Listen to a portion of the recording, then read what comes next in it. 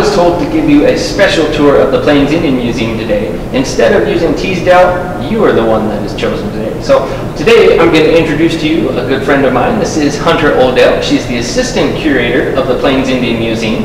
And how's it going, Hunter? It's going really good, thank you. All right. Well, why might not Teasdale be the one to give a tour here today? So for some tribes in the United States and Canada, um, owls have certain sensitivities when it comes to times of mourning. Um, and so out of respect for those tribes, we have asked that um, or, uh, uh, Hayden come and see us today. All right. Well, Teasdale said he was sorry he couldn't make it, but he's very uh, appreciative of, of you giving us, a, uh, excuse me, can't talk, uh, a quick tour of the Plains Indian Museum here, and Hayden will be sure to share it with everyone else at the museum. Great, great. So tell us a little bit about what goes on in the Plains Indian Museum. Yeah, so the Plains Indian Museum opened in 1979, um, but it was first fundraised in 1976. And a group of people came together in the center of the West and said to tell the authentic story of the American West, you need a Native American museum from a Native American perspective.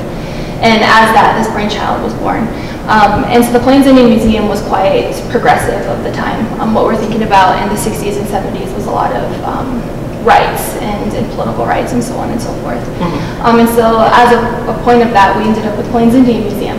And so we have about 10,000 collections um, ranging from all over the United States. However, because we are Plains Indian Museum, we only exhibit the tribes that are in this, um, the plains. And so the way that we define the plains is central Canada down to the Rio Grande. Okay. And so at any given time, we try to exhibit um, the objects of those tribes, and that's about 128 culture groups. And so those that were um, here prior to colonialism, and then those that were forcibly moved into the plains after colonialism. Okay, well, quite a bit of, uh, of information and, and, and, items to convey to the public here. Yeah. Um, so um, I know you were going to talk a little bit about migration. You might do that a little later on. This guy is a migratory species. As a Swainson's hawk, they actually will go all the way down to the pampas of Argentina in the wintertime, and they're going to eat lots of grasshoppers there, and then they come all the way back in the, the springtime and the summer to uh, lay their eggs, and, and they'll eat some mice and, and lots of rodents up here as well. And they cover quite a bit. Well, we appreciate that. so, what else do you want to share with us here today? Uh, I think that's it. Okay, well, head on over this way.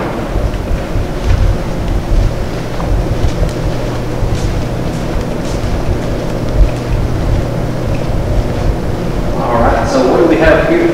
So as a point of the Plains Indian Museum, um, we end up representing quite a lot of tribes that were migratory tribes.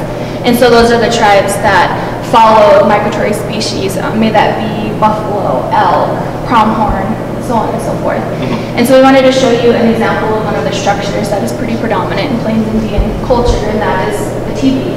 And so the teepee is um, made of lodgepole pine. Um, that's typically the desired pole because it lives in both um, cool and hot climates, high climates, and so it will way weather.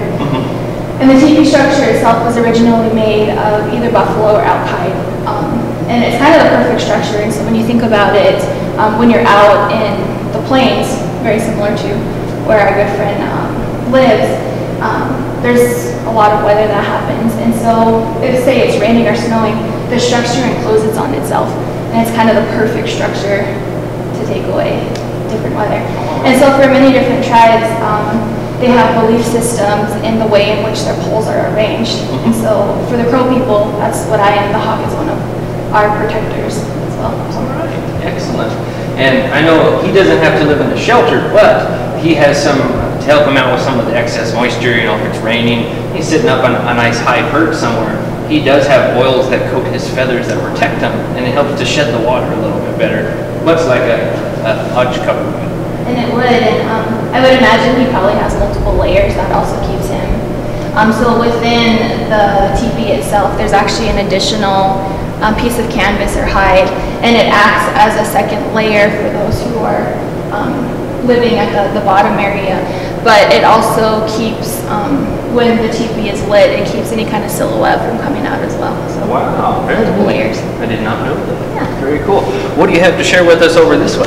Of course. And so, as we were saying, um, migration is a really important part of Plains Indian culture. And so we wanted to show Hayden an example of what a migration scene looks like. All right. And so his species has been here for tens of thousands of years. Um, for many different tribal people, they've also lived on the plains. And so something that we um, see a lot is the way in which when the horse was introduced onto the plains, uh, the way I equate that is the industrial revolution of um, tribal cultures. And so the horse, traditionally what people would have to do walking or carrying, they can now do on the backs of horses. And so the lodge, what we had just seen, those got bigger. Um, people were able to travel the plains a lot quicker. And it was also an area in which um, migration was an important part. And so, of course, you have these people who are living a symbiotic relationship with nature, but they're also trying to interpret the natural world in that way. Um, and so you see design work. So I want to show Hayden Sure. ways in which the designs are. And so many of these represent um, very personal experiences in the natural, natural world. And they're also made of natural materials. And so we see different examples of hides, um, different plant fibers, um, feathers, even animal feathers, and, and that important relationship that animals have to plains cultures. Um, more often than not, we have a higher value in nature than we did in ourselves.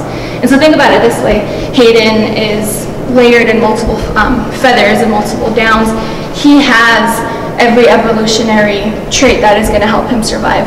When we are born, we're born in the nude, and we need clothing and we need um, different forms to, to cover our body, and so we're inferior beings. And a lot of tribal stories um, relate around animals either giving up their lives or teaching us ways um, during the natural world, and so it's, it's quite beautiful to see that. Very neat. Very neat. Was there anything else that you wanted to share with us today? I would just love to, you know, could- yeah. there's so much here. There there's so much to see and, um, and, you know, looking at ways in which animals are represented in these different pieces and then also looking at how feathers are, are an important part. And so if you look at the woman's dress, the triangular design can sometimes be interpreted as feathers of oh some wow. sort. I hadn't noticed that before. Yep, and then we have on the cradle which she's carrying, there's mountain designs that you also see. And so natural world is in a really important, important part of um, Plains culture, and that is often how it's interpreted. Very neat. Well, Hayden really appreciates the special tour here today, and thank you so much for your time. Um, and I know you have work to do. You can head off this way. We're going to go wander off and look at some of the other things. Okay. Um, and I know there was some really cool thing over here, Hayden. That this was uh, there's a shield over here, and lots of really cool designs.